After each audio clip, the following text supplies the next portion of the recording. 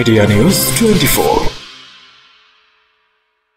আওয়ামী লীগের ভারপ্রাপ্ত সাধারণ সম্পাদক মাহবুবুল আলম হানিফ বলেছেন, বঙ্গবন্ধু স্যাটেলাইটের কারণে আগাম তথ্য পেয়েছিলাম বিধায় আমাদের সরকার এবং দলীয়ভাবে ঘূর্ণিঝড় ফনি মোকাবেলায় সর্বাত্মক প্রস্তুতি গ্রহণ করেছিলাম, যার ফলে ক্ষয়ক্ষতির পরিমাণ কমিয়ে আনা সম্ভব হয়েছে। শনিবার আওয়ামী লীগ সভাপতি শেখ হাসিনার ধানমন্ডির রাজনৈতিক কার্যালয়ে ঘূর্ণিঝড় ফনি নিয়ে দলীয় মনিটরিং সেলের কর্মকাণ্ড এবং পর্যবেক্ষণ সম্পর্কে আয়োজিত সংবাদ সম্মেলনে তিনি এসব মন্তব্য করেন। হানিফ বলেন, আমরা দেশবাসীর পক্ষ থেকে প্রধানমন্ত্রী শেখ হাসিনাকে ধন্যবাদ জানাই। গত দশ বছর তার শাসন আমলে সব দিক থেকে দেশের উন্নয়ন হয়েছে বিশেষ করে উন্নয়নের একটি বড় অংশ হচ্ছে মহাকাশে বঙ্গবন্ধু স্যাটেলাইট উৎক্ষেপণ। বঙ্গবন্ধু স্যাটেলাইট উৎক্ষেপণের মাধ্যমে গভীর সমুদ্রের দু হাজার কিলোমিটার দূরে শুরু হওয়া ঘূর্ণিঝড়ের খবর আমাদের দেশের আবহাওয়া অধিদপ্তর সংগ্রহ করতে সক্ষম হয়। বঙ্গবন্ধু স্যাটেলাইটের কারণে আগাম তথ্য পেয়েছিলাম বিধায় আমাদের সরকার এবং দলীয়ভাবে ঘূর্ণিঝড় মোকাবেলায় সর্বাত্মক প্রস্তুতি গ্রহণ করেছিলাম। যার ফলে ক্ষয়ক্ষতি কমিয়ে আনা সম্ভব হয়েছে বলে দাবি করেন হানিফ। ঘূর্ণিঝড় ঝড়ের ক্ষয়ক্ষতি মোকাবেলায় সরকারের সব প্রতিষ্ঠান নিজেদের মধ্যে সমন্বয় করে কাজ করেছে বলেও যোগ করেন তিনি।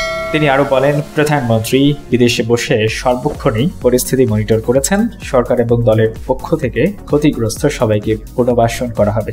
ঘূর্ণিঝড়, ফণি মোকাবেলায় সরকার কোনো পদক্ষেপ নেয়নি। বিএনপির এমন নেতাদের বক্তব্যের সমালোচনা করে হানিফ বলেন, আমি গতকালও বলেছিলাম, যারা এই ধরনের কথাবার্তা বলছেন, তাদের নোংরা ভাষায় কিছু বলা যায় না। তাই তাদের বক্তব্য অনেকেই পাগলের প্রলাপের সঙ্গে তুলনা করেছেন।